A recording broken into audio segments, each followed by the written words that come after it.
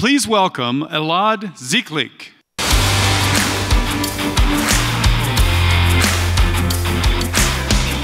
Thank you. Thank you, everyone. Hi. Nice to meet you all. Great, uh, and thank you for spending some time with us today at uh, this AI solution keynote for, for Cloud World. So let's get, let's get things started.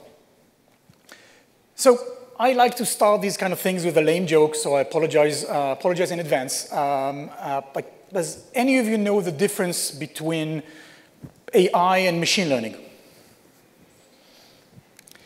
So the answer is if it's written in Python, it's machine learning. If it's written in PowerPoint, it's AI. Okay? So, so for the context of this presentation, thank you. That, that worked, thank you. So for the context of this presentation, I'm going to mostly talk about AI, but we use these terms very interchangeably. So when you want to talk about the state of something, it's often very good to talk about uh, historical context, how we got here. So I like to start with, when you talk about AI, I like to start with this quote by Arthur C. Clarke. Any sufficiently advanced technology is indistinguishable from magic. Think about how somebody from the 60s would, would perceive today's world. Autonomous cars are driving us around. Autonomous robots are, are cleaning our houses. Drones are flying, delivering packages. The world's best cameras, best computers fit right in your pocket. And AI took a while to get there, but there was impressive conquest along the way. Like, I don't know how many of you remember, but 1997, uh, the famous IBM Deep Blue beating the world champion in chess, Garry Kasparov. It was a huge, huge thing. Uh, about a decade later, later, IBM Watson beat the human, uh, sorry, Ken Jennings, the world record at Jeopardy. I remember the hype. It was amazing. And then another huge opportunity about uh, uh, Google's AlphaGo beating Ke Jie, the number one world in Go, a super complicated uh, uh game, and AI beat that. And when I, when I, was working in Microsoft, Microsoft's AI achieved the top score in Miss Pac-Man. Okay, this is true. Now, if there was an AI that could beat Fortnite or, or play Madden or 2K or FIFA, I may get my kids to actually study computer science at high school. But unless you're working for chess.com or, or you're QAing old Atari or arcade games, how does that help you? The answer is that AI actually made some very impressive conquests in the, in the productive space. Okay, if you look at, uh, for example, uh, six years ago, uh, both IBM and Microsoft claimed superhuman accuracy for speech recognition uh, based on some NIST 2000 switchboard test. And, uh, and a bit later, Google and Microsoft, was I think like two years ago, uh, their AI models exceeded human accuracy in language benchmark tests. So AI can understand language better than us humans. And also, a few years ago, computer vision succumbed to the AI, uh, AI journey. So AI computer researchers reported uh, artificial intelligence advances that surpass human capabilities in computer vision related tasks. And if you look at just the last couple of weeks or couple of months, I'm sure many of you have seen this amazing phenomenon that is called DALL-E, that computer vision GPT-3 powered thing where you give it a piece of text and it generates amazing images. And AlphaFold uh, uncover the secrets of all proteins. Um, if you just look at the advancement of large language models, it's truly exponential. I, I remember when BERT came out, this is 2019, it was the largest model as people were astounded. You fast forward less than three years, and we are at 10x, 15x the number of parameters. We have Megatron, Turing models with 500 billion parameters, and it keeps growing. So if AI can do everything better than us humans, if it can see and hear and read and understand better than us humans, it should be no-brainer to use these magical technologies for our businesses, for our applications, right? Turns out that the answer is not so fast, not that easy. Let's take, for example, one of the most commonly used AI-powered devices in the world. Let's talk about Roomba, like the, the magical vacuum cleaner that cleans your house. So if you just let Google autocomplete your, your question, then you see a bunch of mechanical errors, but these are computer vision errors. Okay, my Roomba is getting stuck, my Roomba can't find home. And one of the most famous computer, computer vision problems that Roomba has is if you just add another word to your Google autocomplete, you suddenly see an interesting phenomenon. And this is a real image. This is not a stock photo. This was given to me by, by, by a close friend of mine. Yeah. So Roomba, uh, when it encounters dog poo in your house, uh, it runs over it, and then it spreads it all across your, uh, your floor. And, and you might think that this is, uh, uh, this is from an ex-colleague of mine called Ashley. You might think that this is Ashley's Roomba and Ashley's dog, but this went so far that the, the, the Roomba creator actually had to respond to this poopocalypse. This is a true headline. yeah. We see this a lot. Well, um, sucks to be you, I guess. So, so it's not because the Roomba people or the Roomba computer vision scientists are not great at their job. They are. I actually know the head of science. She's brilliant. It's they lack context. When they trained their models, they did not have the context of dogs or puppies running around your house and pooping. So this wasn't in their computer vision models. Now you'll be happy to know that they fixed it. Last September, Roomba released a new version that solved this problem. They use AI to solve this problem. But it's not just about poop. Here is another example from yesterday morning. So Zoom has a new feature called transcription. It's fairly new, it's been here for a year. Um, the, the, transcription capabilities of Zoom are amazing. If any of you are in Zoom conversations, you can click on the closed captions. It's brilliant, except if you try to transcribe my name. So this is my poor attempt yesterday, 10 times of me saying on a Zoom call, hi, my name is Elad Ziklik. Okay, and you can see the various ways of Zoom uh, understanding. Uh, this was close, but no, uh, this was really worse. And again, the problem is not this isn't a good enough speech engine. It is a very good speech engine, one of the best on the planet, is that it lacks context. Imagine if the Zoom speech engine could be pointed at the HR database of employees in my company or at my address book so it would know that Elad Ziklik is a valid name in English. It's a valid word in the dictionary. And that would make it so much easier to transcribe. Because what Zoom does is what you would expect. Like, they don't know that Elad is a valid word or, or that Ziklik is a valid word. By the way, true story, Elad is a Hebrew name. El means God, and Ad means, means eternal. So I'm literally the eternal God, according to my parents when they named me a few years ago, but whatever. So AI isn't perfect. The problem is, for this to actually work, AI needs to become invisible. Good technologies are invisible. When you walk into a room, you flip a switch, there is light. You don't care that somebody wired everything together in the walls a couple of months earlier on. You care even less that some geniuses invented some formulas that make all of this possible. AI, unfortunately, is not there yet. With all the claims of superhuman accuracy, we are painfully aware of all the limitations of AI. We are painfully aware of all the things it can't do, and we continuously hit the edges of where it's not great. And part of the reason for that is that most AI capabilities today, the vast majority for most vendors, are like Lego blocks. Now, Lego blocks are amazing. You can do anything that you want with these things. If you are smart, creative, you have time and patience, you can build beautiful things, magical things. This is from a Lego exhibition that I was in, um, in at, like, I think, a decade ago. Um, this is uh, by Nathan Sawaya, and he has a bunch of other things. It's incredible. But if you're anything like me, this is as far as you get, okay? and most engineers I worked with are like me, okay? What we want is this. If I want to build a Lego airplane or a Lego Death Star or a Lego Eiffel Tower, I want it to be easy. I want a kit that gives me everything that I need designed to solve this particular business problem. Yeah, I can build the Lego airplane from all these parts that I've showed you in the previous slide, but it's just very, very, very hard.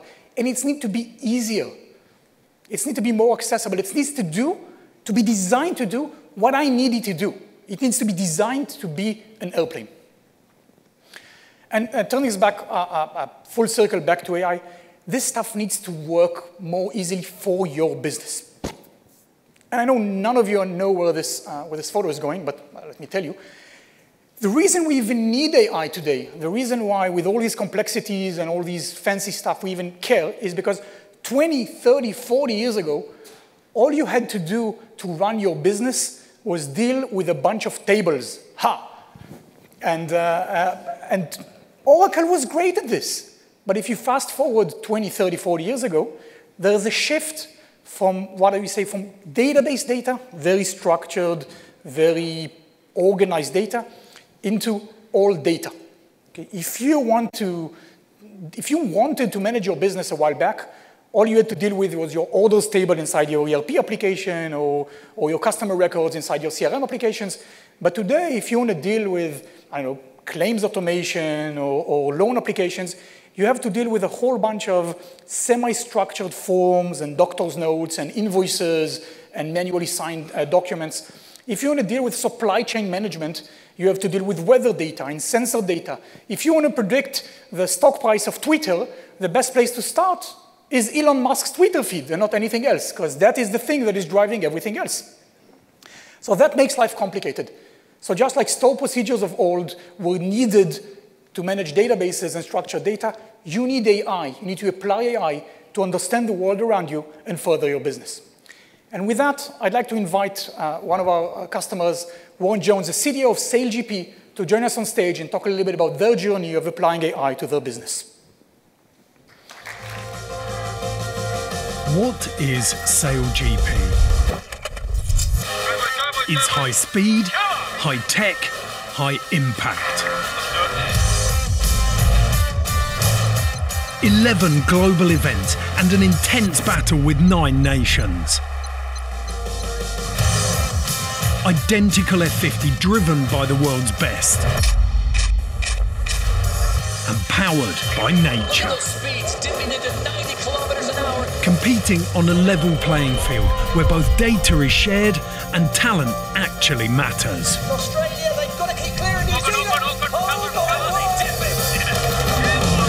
It's close to shore racing in front of sellout crowds.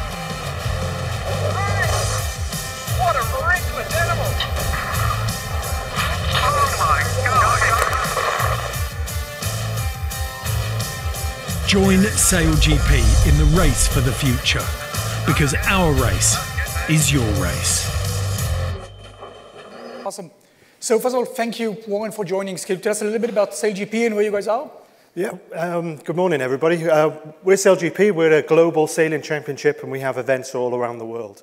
Um, the boats that you just saw, they're, they're called the uh, SailGP F50s, and we call them uh, an extreme IoT device. They have huge amounts of information coming off them.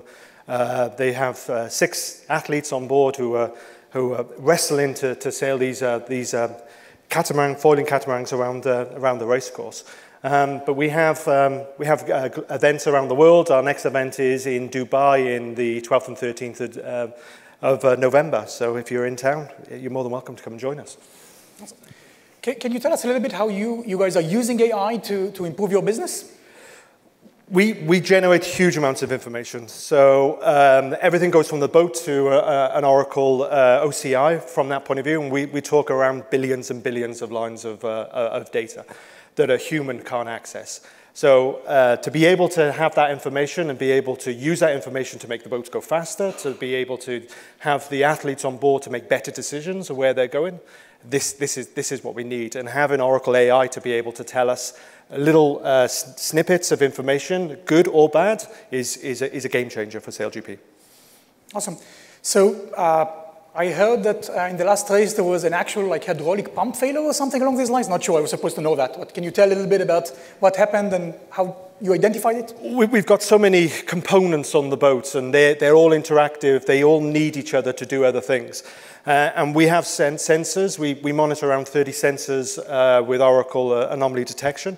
Um, the, the sensors, uh, they scan, the, the boat goes out sailing, it comes back, we, sc- we scan the data, and then in the morning, then we act on the data. And, and one of the pressure sensors had failed. Uh, and, and basically, we, we changed it up. The team went out and sailed, and, um, and they, uh, they, they had a great race. Awesome. So I, I heard that you recently like doubled or even tripled the, the amount of sensor that you're processing with this. Where are you looking to go with AI technologies? It, it, it's endless. Uh, we, we have. Um, we, we started off on a small group of sensors and work out that and get a base model of data. From that point, then we move forward. We doubled that sensors, and over the next couple of um, months and uh, uh, 18 months, we'll be looking to increase that to use it for um, looking at appendages on the boats, life cycles of, uh, of different uh, uh, uh, components. It, it's, it's, it's truly breathtaking. Awesome. That is amazing. And, uh, and I really want to thank you for coming all the way to London to participate in this and share a little bit about what you've done. Thank you again for joining us. Thank you. Thank you. Thanks, everyone. And and if you guys want to learn, if you folks want to learn a, bit more or a lot more about how this was done and how SailGP actually used Oracle AI services in order to do uh, all of this anomaly detection, uh, Warren has a session literally right after this one here in the Venetian, so you're more than welcome to join it and, uh, and hear from the expert and his team how they use AI to further their business. But moving forward, this was one example of how you apply AI to solve a business problem. Let's talk a little bit about our overall strategy for AI at Oracle. So the first thing that is the most important, and as I mentioned this earlier, it's outcome-driven AI. Okay? You want AI that is like the Lego kits that we talked about earlier on. AI that is optimized for your business, for your industry use cases, not just general purpose technologies or building blocks that can do everything, but it's very hard to use them. You want AI for your business. You want pre-built AI that solves certain problems and you also want to be able to customize it to your own business, going back to the Zoom example. I want to teach my speech engine, my employees list, my acronyms, my product portfolio, so that it gets it better and more accurate when I use it. And what I really want, and we'll talk about it in a minute, is I want built in, we call those insight highways. We want to make it easy to apply AI to your SaaS applications whether it's Oracle's applications like NetSuite or Fusion, or whether it's your own custom applications. This needs to be easier. The process of embedding AI into your application needs to be easier. And we do all of that with an improved experience. Okay? We're trying to drive or make it easier to operationalize machine learning at scale using the best high-performance, low-power computers and GPU clusters available to train all of these fancy models and make it easy across your entire personas in your organization, data scientists, developers, analysts, executives, to have a single experience for sharing, discovering, publishing, and using all of these AI stuff in a very easy to use manner. And lastly, we do all of this in an open platform. We'll get you access to the world's best AI software and hardware, to the best open source tools that you like, you can run your AI models wherever you want, on our cloud, on hybrid clouds, on multi-clouds, because we don't want to lock you in into a particular environment if you need this to run in other places. Let's spend two minutes on the overall portfolio. I will not deep dive into this. We have a portfolio of 20 sessions over the next couple of days if you guys want to learn anything or everything about any of these things. But in a nutshell, Oracle offers an end-to-end comprehensive offering of AI and machine learning services for data scientists, developers, business users that want to take advantage of their data. We split those into two layers. I know I said that machine learning and AI are, are, are, mostly the same, but the bottom layer is what we call the machine learning services. This is for the professional data scientists that want to build, train, deploy, monitor, and manage machine learning model, custom machine learning models. Okay, we have OCI Data Science, which is our open source data science environment, and we have data science environments inside the Oracle database, whether it's Autonomous Database or MySQL HeatWave, that allows you to run subset of the machine learning workloads, highly optimized to run inside the database, so that in those use cases where you don't want to lift and shift your data out of the database, you can run machine learning directly there. The top layer is what we call OCI AI services. These are the applied AI services that are for developers or people who do not have data science skills or do not want to use data science skills on everything. And they come with AI in the box, pre-trained models that you can just use to apply business problems. You can also customize them for your specific jargon or ontology or business use cases. And this is part of the suite that we call OCI AI services. And to make it easier to do this, we actually spend a significant amount of time embedding these capabilities directly into where you need them, both making it easier for ISVs and system integrators to apply AI to their business applications, as well as integrating this directly into our business applications so that you can use this out of the box. For example, NetSuite just launched uh, uh, a couple of weeks ago in SuiteWorld a new AI-powered accounts payable automation to automatically process bills and invoices powered by our suite. All of Fusion's AI in the HR applications, the ERP application is powered by the same platform. So not only are we doing this to make the applications better, we're also eating our own dog food, or as I heard from my marketing counterparts, drinking our own champagne to make sure that these things are highly powerful, highly scalable, and enterprise ready for you to use. For example, we integrated our computer vision suite into our Oracle Analytics Cloud portfolio, into our BI dashboard. So now you can actually, inside your BI application, go and, and draw bounding boxes around the objects that you care about to be able to count them uh, in, a, in a retail store or in a parking lot or in whatever without knowing anything about computer vision. It's just a built-in experience with the most powerful deep learning computer vision technologies inside your BI dashboard. Now, to talk a little bit more about where this is going and where the future is when we talk about the last mile of AI delivery, please join me in welcoming to stage David Luan, the CEO and co-founder of Adept.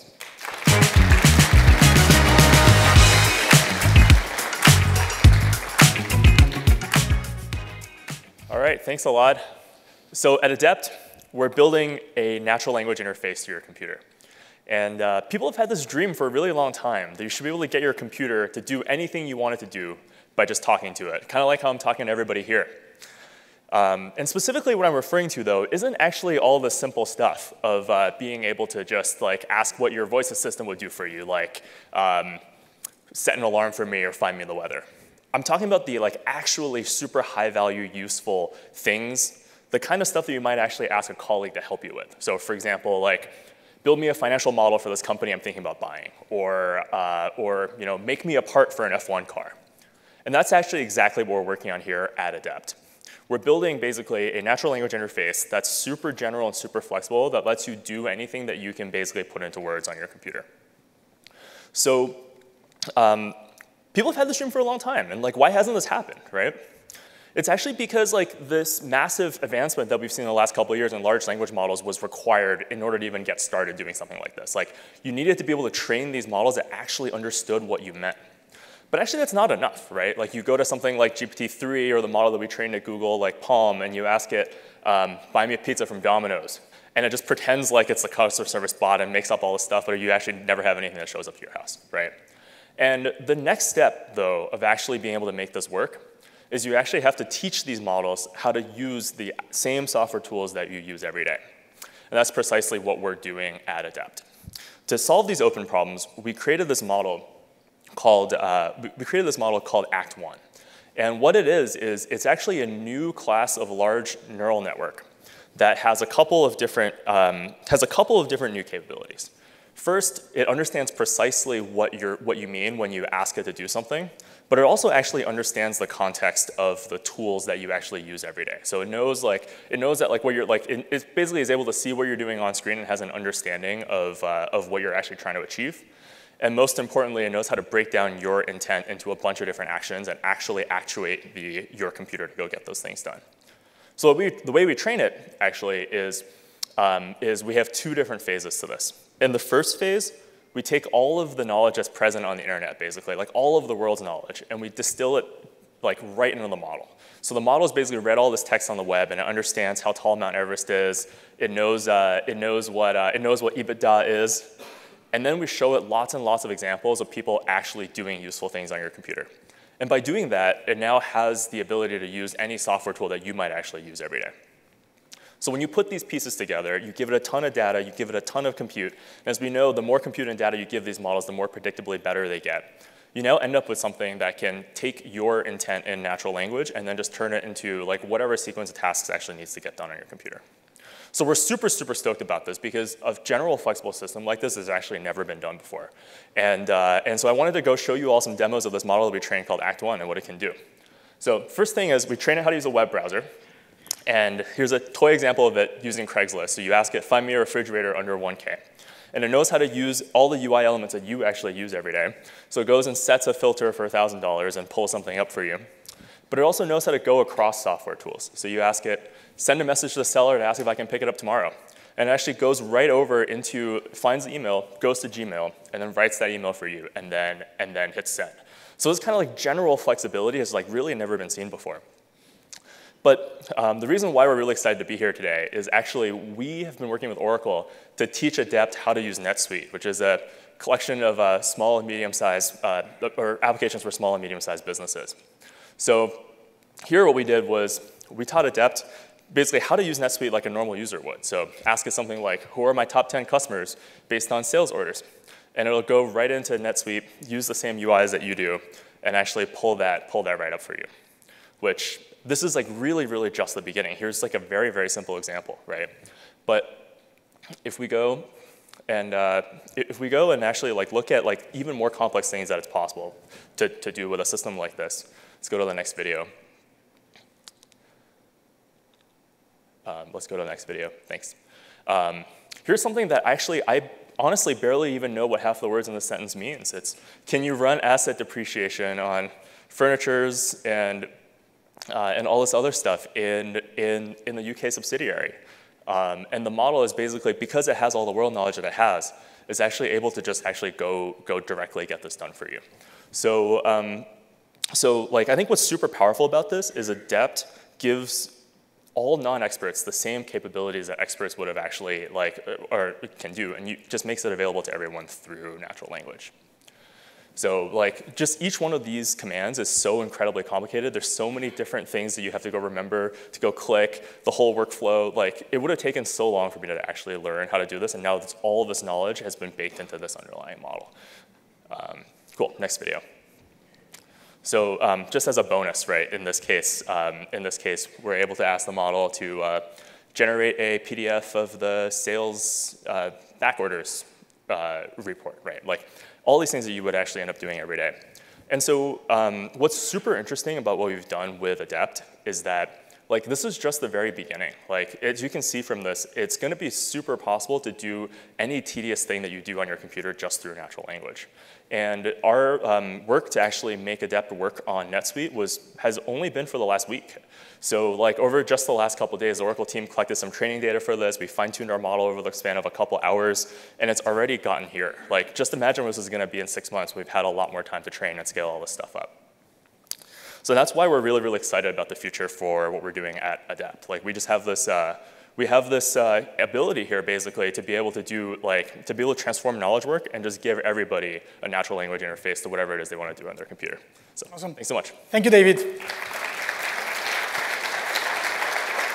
So, so this is a great example on how you can take things that are mind-bogglingly complicated and need certified geniuses in order to go and build and train and make them available on OCI. So we started the work with NetSuite, and we're going to make this available for anyone, any application developer that wants to add this kind of experiences into their application or, or website. Which leads us to the next segment where this is my goal, okay? This is our strategy and goal. The goal is not to build the best AI things in the world and, and you will be limited to the things that our researchers and scientists can do. It's how we get the best AI software running on the best AI hardware with OCI so you can build the best AI things that you want to build. And to talk a little bit how we're going to do this and how we are doing this, please join me in welcoming Ian Buck, the VP for Hyperscale and HPC at NVIDIA, and Peter Wang, the CEO and co-founder of Anaconda.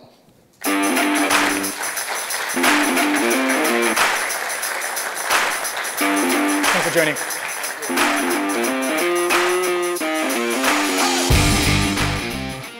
So, so Peter, uh, could you please maybe get us started with uh, talking a little bit about what's Anaconda and who are your customers and what is it that you do? Yeah, so, uh, so Anaconda is uh, the world's most popular open data science software platform. Um, we deliver all sorts of open source libraries and packages to over 30 million users. And we're used by researchers, we're used by practitioners, um, students, teachers, just everyone who is doing AI and ML and data science. And, and how and where do you see open source software driving innovation in AI? Well, the, the reality is today, almost all of the innovation that happens in AI and ML um, is being done in the open source. And that's if you're using you know, low-level uh, data tools, basic data science tools like Pandas or scikit-learn, or if you're using a, the most cutting-edge AI software uh, like TensorFlow, PyTorch, XGBoost, and, and all these things, all of these things are being built by a global collaboration of open source developers and, and researchers. Um, so the innovation is all out there. It's, uh, you know, the AI gold rush is, is actually really cool because it's the, the jeans and the shovels are free. It's all out there. Um, and it's just up to businesses to lean in and adopt that. Yep. And uh, the thing is that businesses, especially enterprises, are still very hesitant to, to adopt open source at scale. Like they worry about security vulnerabilities, broken software supply chain. Like how does Anaconda help with this, uh, with this mess? Yeah, um, it's, it's understandable that, opens, that uh, enterprises are a little hesitant to adopt open source um, of this form. In particular, in the last year, for instance, we've seen a lot of attacks on the public infrastructure that software developers use to build open source software.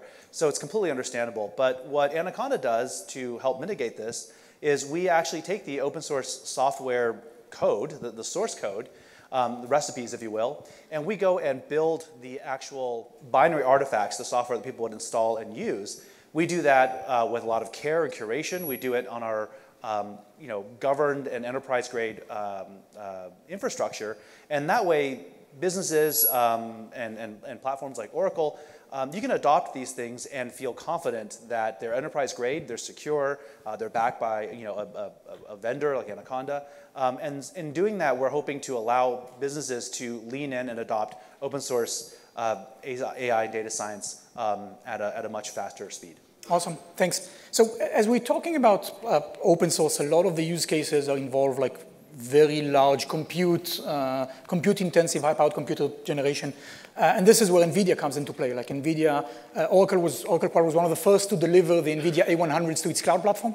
And uh, as you may have heard this morning, like we are uh, going to be one of the first to, to uh, offer the new H100 GPUs. can you tell us, Ian, a little bit about these groundbreaking H100 GPUs and the impact on AI? Yeah, thanks. Um, you know, NVIDIA is an interesting company. We're the, uh, being the AI platform company, we're the one, we're an AI company that works with every other AI company. So with every architecture generation, we, we aim to, you know, make it groundbreaking for the latest of what AI has and what AI needs. Um, in, in, the H100, we specifically designed it for the large language models that we heard about earlier. Um, it's designed to actually train, these models are huge. They're trained on basically the corpus of the entire internet and, uh, and then turned into, that capture not just uh, understanding human language, but really human understanding as we saw. Um, the new H100 Hopper GPUs are designed to both train and deploy these and really democratize this technology. It's actually nine times faster to train uh, compared to our previous generation and 30 times faster for deploying it or inferencing. This dramatically reduces the cost for deploying these models and takes it out of the hands of the sort of global you know, giants and into the hands of every enterprise to deploy the technology. So as AI gets more mature and better, like various enterprises, various businesses are in different stages of the AI-driven transformation journey. How can enterprises at scale tap into the power of NVIDIA's platform and OCI and leverage it to actually make a business impact? Yeah, NVIDIA has been investing hugely, not just in the chips itself and what the technology can do, but all of the software that goes along with it to basically accelerate every part of the, of the data science and AI pipeline. You know, starting with data prep, uh, model prep, the training of the model itself, as well as the deployment and inference and operating of the, of the model. Uh, so we have developed a couple of, of, technologies to do that and incorporated them into platforms like OCI, either as a bare metal service or into the actual services themselves. Uh, NVIDIA has NVIDIA AI Enterprise, so we have direct enterprise support for all layers of the software stack. And we're increasingly building tools to help enterprises you know, deploy these technologies. Like the large language model uh, that was discussed previously, you know, we've worked on prompt tuning. Take a huge large language model that was trained on the internet, you know, it'll answer a question as if the internet answered it, which isn't necessarily useful for enterprises. But with, with, some of the prompt tuning technology, you can give it a, a few hundred examples of how you'd like it to answer the question, and now you have a purpose-built large language model that can be deployed for your use case that's tailored and answered in the way that you want to hear. Yeah. So one more question to you, Peter, as I'm, as I'm hearing Ian, Ian speaking. There seems like there's always new computers, new processing units, and, and that makes um, supporting open source uh, across a diverse set of hardware very challenging. Like how does Anaconda deal with this and help the industry? Well, it's, it is definitely an issue. The industry is uh, kind of is an industry-wide problem, right? We have a diversity of chips, hardware, different kinds of software being built by different teams. Um, and, and there's no free lunch, unfortunately. So historically, over the last 10 years, what Anaconda has done is acted as somewhat of a steward and a, and a middleman between you know, the hardware vendors, um, the, the big, big, major platforms, um, and then um, the actual upstream open source software developers themselves. And we, uh, you know, we do a lot of the building. We go and do a massive test matrix against all different kinds of hardware, software, architecture, operating system versions, and things like that. Um, but we can only do so much as a single entity, right? So moving forward, um, we're really looking forward to um, you know doing the diplomacy and the networking and working with partners like Oracle and NVIDIA and all these open source projects to uh, build better standards and you know really converge on some approaches so we don't have this combinatoric explosion that becomes very difficult for everyone to manage. Yep, but it's definitely a work in progress. Yeah, makes sense. So maybe one last question, Ian. We talk a lot about general purpose platform, but I know that NVIDIA also has a lot of investments in healthcare specific platform. Can you talk a little bit about that? Yeah, we heard a little bit about that today from the keynote. Um, uh, NVIDIA has been investing in, in, vertical software stacks, frameworks that you know get, get almost to the last mile of the, where the customer is and meet the enterprise developer you know, where they are. In healthcare especially, we have a platform called NVIDIA Clara, which is a specifically designed platform for, for healthcare, for both medical imaging and genomics research.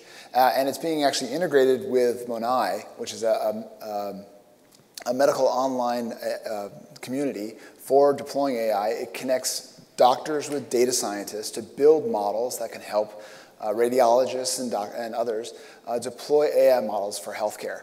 Um, so we're bu helping build these platforms together with industries, with doctors, and with data science, and then making it all available on Oracle's cloud. In fact, you know, developers uh, and users of Oracle Cloud can now get access to literally supercomputer levels of performance uh, to deploy and develop their models for their businesses. Awesome.